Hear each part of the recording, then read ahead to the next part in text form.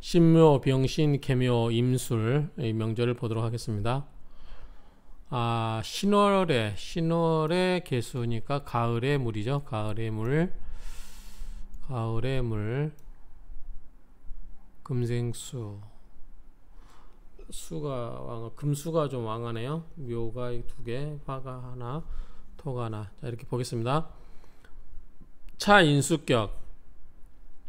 이 명조는 인수격이다. 자, 신금 입장에서 우리가 그 격을 논할 때 어, 원령, 원령의 원령을 출발해서 원령에서 그 게, 어, 원령에 있는 오행이 투관되어 있나 투관되어 있는 것을 보면 된다고 그랬죠. 자, 어쨌든 이 명조는 금생수 이렇게 인수격으로서 이 신금이용 신금을 용신으로 삼고 그래서 어, 신금을 용신으로 삼고 이 병화 위병 병화로 병을 삼는다. 자, 병화는 용신이 신금인데 병화가 화극금으로 신금을 극을 하죠. 그러니까 용신을 괴롭히니까 약이 되는 거고 이 임수 위약. 자, 그런데 이 병화 병화가 병인데 이 수극화로 임수가 병을 제압을 하죠. 그래서 요거는 병이고 요건 약이 되는 거죠. 병을 치료하는 약이 될, 약이 될 수 있는 거죠. 그러다 보니까 중화 순수 중화되고 순수하였다. 추수 통원 자, 가을의 물이 신금의 어, 신월의 개수가 가을의 물이 뿌리를 두고 있다. 뿌리를 두고 통하고 있다. 운지 개사 개사운으로 흘렀을 때 개사운으로 흐르니 금수 봉생 금수가 금수가 생을 만나 자, 수, 수, 금수가 좋죠. 금수가 좋은데 개수가 들어오니까 더 좋겠죠. 금수가 생을 만나 득조, 도움을 얻으니 과갑 연등 과거에서 연달아 합격하고 임진 약병 상제 임진 대운 때는 자 임진은 어 병하고 어 약하고 서로 같이 있는 거죠. 임진년에는 병하고 약하고 서로 상제 서로 구제를 하니 유 어디 어디에서 시작을 하다 말미암다 부속에서 출 어, 부 속에서 말미암아 출이 나와서 뭐뭐까지 되었다? 군수까지 되었다. 그러니까 부속이라는 그 벼슬에서 시작을 해서 군수가 올랐다. 개, 신묘, 경인, 개두. 자, 경인, 신묘, 대운에는 개두. 개두가 위에서 천간에서 지지를 극한다고 그랬죠. 자, 인묘가 무슨 역할을 하냐면 인묘가 자 약인 병화를 목생화를 해줄 수 있죠. 그렇죠? 근데 이거를 못하게 경금이 임목 어, 저기 경금이 임목을 신금이 묘목을 눌러버려요. 그래서 이 목이 목생화로 되지 않, 게끔 도와줘 버리죠. 그래서 자 그러다 보니까 신묘 경인대운의 계두를 통해서 자 경금 금이 밑에 목의 기운을 제압해서 목이 약인 병화를 화를 생해주는 것을 막아버리게 되니 봉금 금을 만나 불능생화 생화 개인. 자 금을 만나 자 이 금이죠 신금을 신금 경금을 만나서 불능 생화 생화를 화를 생해주는 화를 생해주는 거 임목 임목이나 묘목이죠. 화 화를 생해주게 못하게 한다 그랬죠. 자 경금이 밑에 목을 눌러서 목이 약인 병화를 생해주는 것을 못하게 하니 이런 말이죠. 그래서 뭐예요? 인성을 파괴하니. 자 인성이 뭐예요 파괴하는 것을 막아준다는 거죠. 자, 어, 신금이 신금이 개수를 살려주는 것을 병화가 신금을 극하는 것을 못하게 한다는 거죠. 자, 이렇게 됩니다. 다시 이야기하면 자, 개두기 때문에 위에 경금이라든가 신금이 밑에 지지, 인, 인목이라든가 묘목을 억눌러서 이 목이 목생화로 화, 병화, 그 약이죠? 아니, 병이죠? 이거를 생, 생해주는 것을 막아서 이 병화가 또 다시 신금을 극하는 것을 차례대로 막아줘 버리죠. 이 경금 신금이 그러다 보니까 좋게 간 거죠. 그래서 명리 양전 명예와 이익이 어, 재물적인 이익까지 같이 온전하였다. 이렇게 명예와 부가 둘 다 온전하였다라고 정리가 되는 겁니다. 자, 이 명조를 보겠습니다. 이 명조는 어, 내용도 많고 어, 한 화면에 나오지 않기 때문에 어, 일단은 원문에 어, 원문 위주로 해석을 하시고 이거는 여러분들이 참조만 하시면 될 것 같습니다. 자, 원문을 보도록 하겠습니다. 자, 이 명, 명절 보면 자, 이거는 앞에 명조예요. 이거는 이번 명조입니다. 앞에 명조 맞나요? 임술? 아 맞죠? 자 신묘, 병신, 개묘 뒤에 갑인하고 임술만 틀려요. 자 요걸 볼게요. 차, 역, 이, 신금, 이용. 자 이야기했어요 아까. 자 개수가 밑에 신월에 나왔기 때문에 신금이 뭐가 된다? 용신이 된다. 그리고 병이 약 어, 병이 된다. 이 병화가 이 용신 신금을 극을 하기 때문에 어, 병화를 병으로 본다.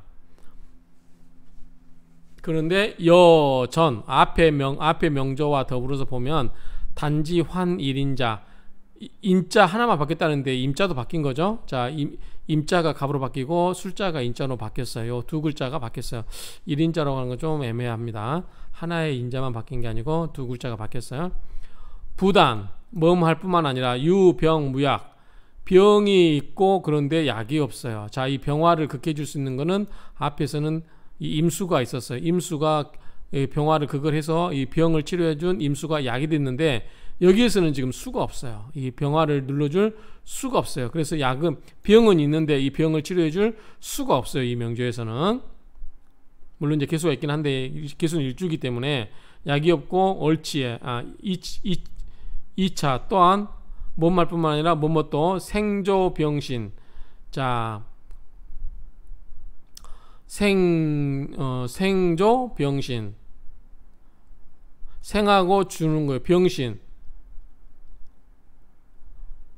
병화를 생하고 도움을 줘요 왜 그러냐면 자 화가 수가 없어서 병화를 치료도 못하는 약이 없 약이 없어 치료도 못하는데 갑인이 오면 뭐요 목생화로 화의 기운을 더 생해줘 불잖아요. 그렇죠?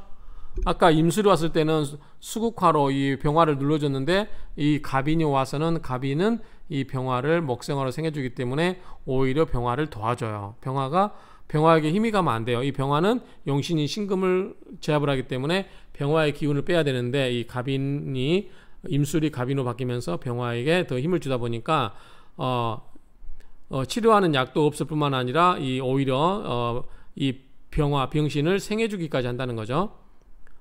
생조까지 한다는 거죠. 그래서 피 즉 앞에 이 명조는 청전만선. 자, 청전만선은 뭐냐면 이제 나오 앞에서 나왔죠. 청전만선은 문장이 매우 뛰어남을 말하기도 하지만 자, 요거는 당의 장천전에 나오는 말로 청전만 청동 만전만 있으면 과거에 만 번 급제할 수 있다는 뜻으로 급력이 대단하는 말이다. 이제 김동기 선생이 나오는 말인데 어쨌든 문장이 매우 뛰어나는 말하는 거예요. 그래서 어 앞에 명조는 앞에 명조 이 명조는 이 청전 만선 할 수 있었는데 명리가 온전하고 명리가 둘 다 있고 그러는데 차 즉 이 명조는 자 이 명조는 기서공기. 자 기는 배틀기예요. 서는 이제 그 배북 예, 기저 이제 북저 그 다음에 빌공자 이거는 그 기자는 어 뭐죠? 포기할 기자나 또는 뭐 던질 포자 자 기저 공포. 기저 공포가 됩니다. 자 그러면 이 명조는 기저 공포는 뭐냐면 자 우리가 그 여러분들 시골서 배틀 보셨죠? 배틀. 저 어렸을 때 시골서 살았기 때문에 저희 어머님께서 뱃살 잘 때 이렇게 발로 잡아당기면서 이렇게 딱 한번 내리고 그 이거를 이렇게 이렇게 던져요. 그리고 또 받아서 딱 짜고 던지고 짝 짜고 던지고 딱 짜고 이렇게 두 손 왔다 갔다 하면서 이렇게 생긴 그 이거를 왔다 갔다 하면서 날실 뭐 뭐죠? 우리가 날실이라고 뭐죠? 그 이게 섞여서 이렇게 이렇게 이렇게 서, 어 실이 섞이면서 이렇게 짤 수 있게끔 아, 고등학교 책에 나오는데 생각이 안 나네 갑자기 그 배틀 짤 때 그 두 개가 이렇게 교차하면서 이게 실이 왔다 갔다 하면서 이제 하나의 그 350, 3배가 만들어지죠. 그런 거. 그러니까 기저 공포, 그 배틀의 그거 이거 뭐죠? 이거를 배틀의 북이 북이 이렇게 날 이게 여쪽으로 던지면 날아가고 이쪽으로 던지면 날아가고 그래서 이 밑에 날씨 실실 이렇게 한 번씩 들으면서 이렇게 하는 게 있어요. 그것이 공포 비일게 어, 비, 어, 비인 것에 던져졌다. 그러니까 이 명조는 앞에 명조는 이게 명리 쌍전이 됐는데 명리 양전이 됐는데 이 명조는 이 갑인이라는 글자가 병화라고 약을 어, 병화인 약을 더 어, 왕성하게 해서 용신인 신금을 제압을 하게 해버리니까 어, 이 명조는 좋게 흘러가지 않고 못하가 못하 어떻게 된 거죠?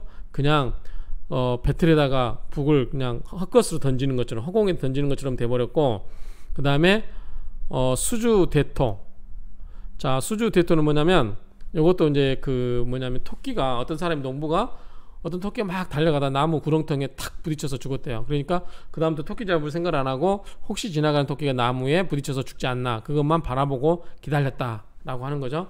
그래서 이걸 뭐라고 해석했어요? 한 가지 일에만 얽매여 발전을 모르, 는 어린 석은 사람을 비유로 일으키는 말이다. 이제 그 비유는 여기에 나왔어요. 한비자 오두편에 나오는 이야기인데, 자 방금 말씀드렸고, 그래 수주대토. 그래서 이런 어, 그런 이제 그런 어, 혁이 되었고, 어, 그 다음에 갱 혐 인신요충. 자 인신요충. 임, 임목과 신금이 멀리서 충을 하고 있고, 어, 묘목 이 묘목이 도움을 주고 있어요. 그래서 인수가 오히려 상을 해버렸어요. 인수가 오히려 당을 했, 인수가 오히려 어, 상을 당했어요. 자, 묘 상금 어, 저기 어 신금이 신금이 용 용신 어, 신금이 용신인데 자. 어, 이 갑인이 와서 병화를 살 병화를 약인 병화를 더 힘세게 해서 병화가 신금을 극을 하고 그다음에 인목 인신충으로 멀리서 해서 또 이 인목이 충을 하고 이 묘목이 또 뭐예요? 병화를 또 생조해서 신금을 억누르게 하니 신금이 오히려 견디기 힘들죠. 그래서 오히려 어, 상처를 입었다. 모광 금결 목이 너무 왕해서 금은 금인데 날이 다 무뎌져 버린 거죠. 차, 또 월건 내 육친 지위. 자, 월건은 월건은 곧 육친의 지위다.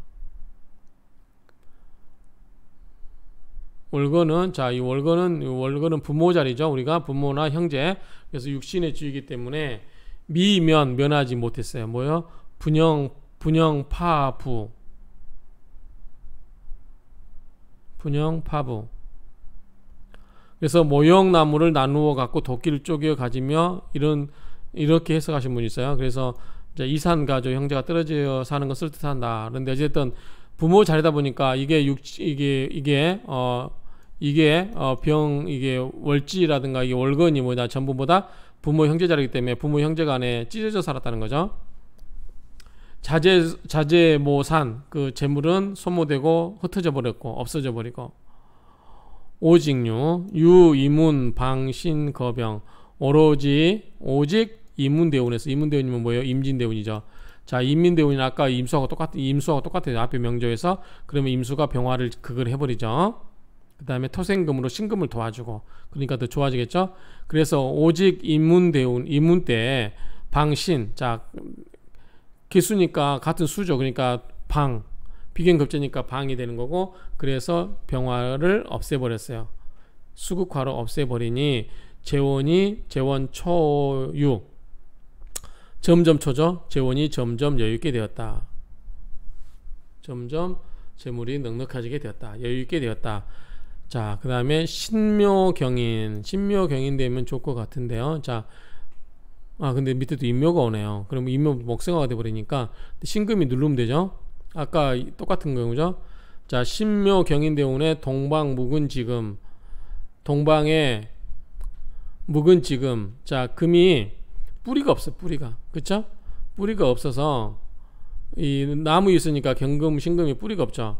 그러한 동방 묵은 지금이라서 공명 미능 진치 공명을 나아가서 얻을 수가 없었다. 미능 미능 공명의 나아가서 나아갈 진짜니까 나아가서 얻는, 얻을 수가 없었고 가업 불과 소강 가업은 그냥 소강 상태에 불과했다. 고만고만했다라는 거죠.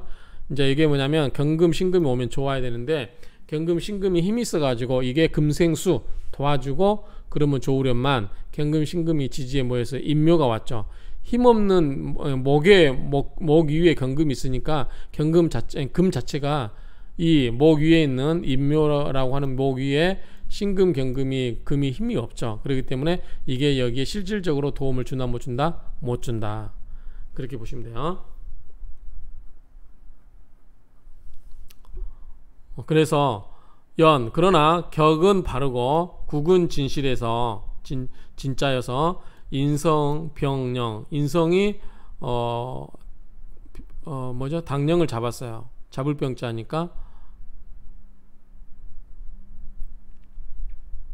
소위 그래서 금 금회광달 금회광달.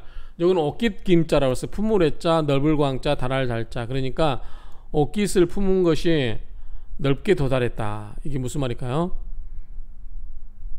자 옷깃금 품물의 빌광 발, 어, 발극광 또는 어 저기 통달할 달. 그러니까 이건 뭐냐면 어, 금회를 찐, 찐화이 하면은 흉금, 흉금, 생각, 뭐, 해포, 포부, 이런 거고, 광달은 밝게 도달한 거죠. 그래서 이거는 활달하다. 마음이 활달에 구애받지 못하다. 그러니까 이런 경우는 뭐다?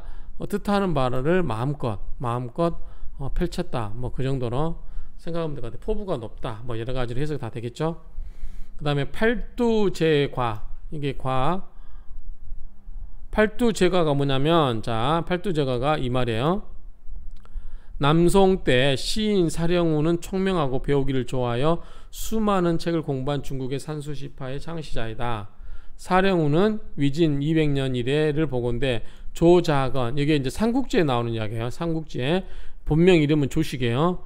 조조의 셋째 아들이에요. 그런데 첫째 아들이 뭐가 있어요? 조조 첫째 아들이 위문제였어요. 그래서 이 문제가 어, 질투를 했죠. 제 기억으로 그래요. 이제 삼국지가 삼국지를 오래간만에 아주 읽은 지 오래됐기 때문에 첫째 아들 위문제가 셋째 아들이 너무 똑똑하니까 죽이려고 어 칠보성장 얘기 나오죠. 칠보성장 어떤 것을 보고 오면서 일곱 보를 다 마치기 전에 어 뭐를 글을 쓰라고 뭐지 형제지간에 뭐 그걸 나타내는 그림을 쓰라고 했던 거 기억을 해요. 그걸 쓰라고 해요. 그런데 이걸 써버려 요 진짜로.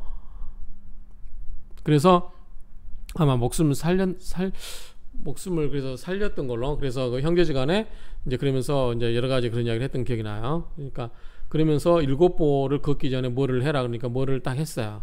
그래서 형제지간에 그 어 뭐죠 뭐 같은 배에서 나오고 좀 그런 걸로 기억이 되는데 그 그런 걸 해서 이제 그 위험, 위험을 면했기 때문에 이 셋째 아들 어 조자건 또는 본명은 조식이라고 하는데 이 사람이 굉장히 어 저기 재주가 뛰어났다. 그래서 천하의 재주를 일성으로 친다면 조작은 여덟 마리를 점유하고 그러니까 한 썸보다 여덟 마리면 몇 배나 많은 거 엄청 많은 거죠. 그래서 굉장히 굉장히 어, 재주가 뛰어났다, 똑똑하다 정도 보면 될 것 같아요. 그래서 어, 생각도 활달하고 포부도 크고 그 다음에 재주도 뛰어나고 그래서 쟁사 다툴 쟁짝 뭐사 뭐뭐 뭐뭐 같다. 다툼이 맞지 원룡의기 원룡의기. 요것도 고사성어 같죠? 또 원룡의기를 볼까요? 동안의 진둥, 어, 진등이 빈객을 업신여겨서 자신은 높은 침상에 눕고 친구인 허범은 낮은 침상에 눕고 있다는 고사로 빈객을 업신여길 말한다. 요것도 어디에 막 그 삼국지인가? 이것도 나오는 그런 고사성 같은데 어쨌든 이제 원룡의 의기, 원룡의 뜻과 기 그리고 오화필토 오화필토는 뭐냐면 다섯 가지 꽃의 부, 부필자죠 다섯 꽃이 필 그러니까 글씨가 꽃처럼 예쁘다는 뜻인가요 그렇게 토, 토 토해내는 거니까 그냥 자연스럽게 써지는 거죠 여기 보면은 오화필은 당나라 200과 같은 문장을 뜻한다. 문장가죠. 그래서 200이 아끼던 명마 이름이 오와마이였다. 오와마이였다. 그래서 이제 오화필은 문장가다. 꽃처럼 글씨가 써진 거니까 진짜 뭐 더 이상 말할 게 없죠. 그 다음에 어, 섞일 휘 휘자죠. 섞일 혼 혼여 사마 문장 사마 문장과 같이 섞였다. 그러니까 이 사람에 대해서는 엄청 칭찬하고 있는 거예요.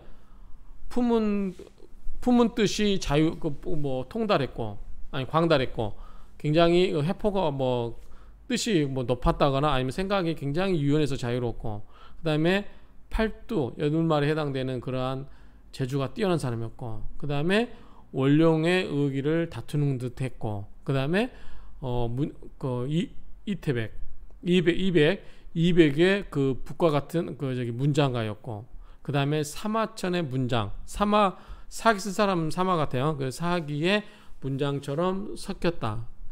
섞였다. 혼 섞일 혼자니까 그러니까 사마의 문장과 같이 섞였다. 그러니까 아주 잘 썼다는 뜻이 되겠죠. 그러니까 뭐 좋은 건 다 갖다 붙인 것 같아요. 여기다가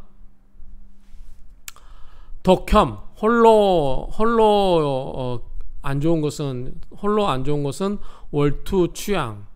자 신금 신금 위에 신월 위에 가을이죠. 월간 위에 투양 병화가 투관되어 있다고 하는 것이다. 양이니까 병화로 볼게요. 그래서 홀로 홀로 끓이는 바는 월간의 어, 가을의 태양, 가을의 빛이 어, 투관되어 있다는 거 하는 것이다. 그래서 난면 면하기가 어려웠다. 주혈창에 주혈창인가요 이게 한자도 어려운 한자도 많이 나오고 주침창이네 주침창에 자 구슬주자 잠길 침자 그 다음에 어, 창에는 푸른 바다죠. 자 푸른 바다의 진주가 잠겨버림을 면하지 못했다. 그러니까 바닷속에 아주 좋은 그 진주 어, 진주가 있어도 바닷속에 빠져버리면 찾기 힘들죠. 그만큼 이제 그 별로 안 좋은 상황이죠. 그래서 어, 참 좋았는데 가을에 그 햇볕이 어, 나와 있어서 푸른 바다 큰 드넓은 푸른 바다에 진주가 어, 빠질 침 잠길 침 진주가 잠기는 것처럼 그렇게 그런 형국을 면하기가 어려웠다. 순수 기정 그 순하고 그 올바름을 받아서 막비 명냐라 명이 아닌 바가 없다. 그런 게 명이다.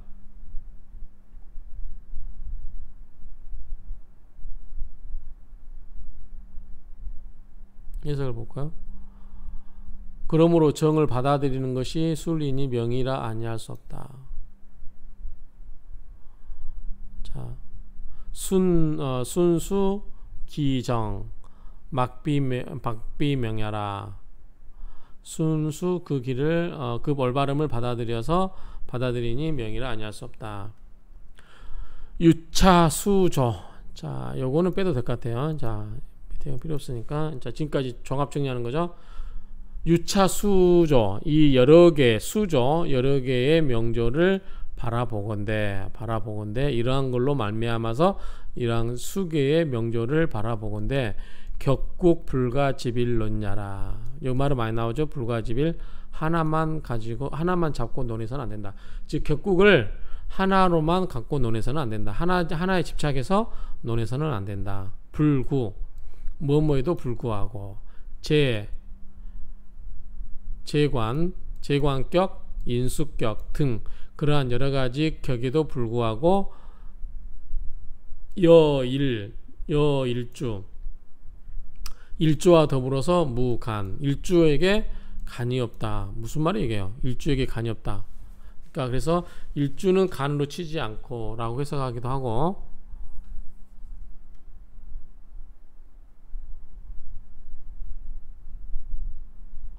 일주는 간으로 치지, 치지 않고 어, 치지 않는다. 그래서 어찌됐든 이제 일주는 빼놓고 일주를 둘러싸고 있는 일곱 개 갖고 이제 분석을 해야 되겠죠. 그래서 분석을 해서 보니까 왕즉 억 왕한 즉 뭐에다 억압을 해야 되고 억눌러야 되죠.